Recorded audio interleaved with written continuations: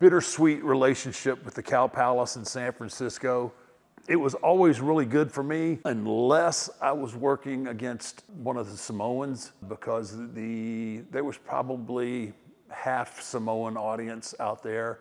And if I was working against somebody like Yokozuna or Rikishi or someone like that, good guy or bad guy, I was always the bad guy. And uh, all, all of a sudden you could hear somebody in the crowd, you know, they'd yell out, Talofa Samoa! Usually Yoko would fire up and just beat the crap out of me for the next five minutes and uh, could make for a long evening.